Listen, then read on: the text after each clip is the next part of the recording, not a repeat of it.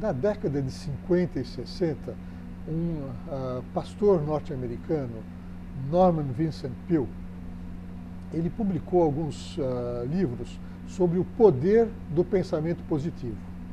São muito úteis para muitas pessoas.